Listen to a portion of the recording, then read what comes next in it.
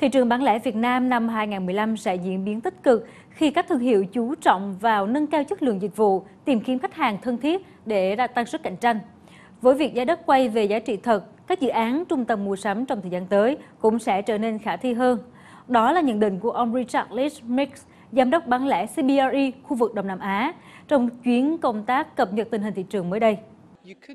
Có thể nói năm 2014 là một năm không mấy thuận lợi cho thị trường bán lẻ bởi có sự giảm tốc trong tiêu dùng, niềm tin tiêu dùng không cao, họ không chắc với những kỳ vọng nên có xu hướng tiết kiệm hơn, ngay cả khi lãi suất đã được cắt giảm. Nhưng vẫn có một số lĩnh vực hoạt động tốt như thực phẩm và đồ uống, điện tử, giáo dục. Nhìn chung bán lẻ trong năm 2014 có xu hướng giảm trong cách người ta mua hàng khi tìm mua những mặt hàng rẻ hơn.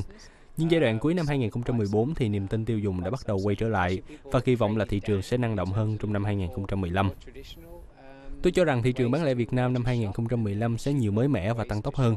Các thương hiệu Nhật Bản, Hàn Quốc, Thái Lan đã vào Việt Nam, nhưng tôi nghĩ đó là về mặt dài hạn. Họ không cần thiết phải nhanh chóng thu lại lợi nhuận, mà sẽ chuyên nghiệp hóa các cửa hàng, tập trung vào chiến lược giá cả, xây dựng quan hệ khách hàng thân thiết. Điều đó sẽ rất tốt cho người tiêu dùng, bởi họ sẽ có nhiều sự lựa chọn hơn.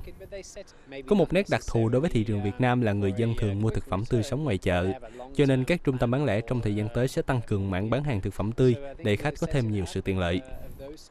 Mặc dù nhiều thương hiệu bán lẻ đang đổ về Việt Nam, nhưng hiện tại diện tích dành cho bán lẻ mới chỉ đạt khoảng 600.000 m2 tại thành phố Hồ Chí Minh và nhỉnh hơn một chút tại Hà Nội. Diện tích này không phải là lớn so với các nước trong khu vực, cho nên thị trường bán lẻ của Việt Nam mới chỉ ở giai đoạn khởi đầu với việc ra đời của một số trung tâm thương mại cao cấp, chưa đủ để đáp ứng nhu cầu của thị trường có dân số đông hiện nay.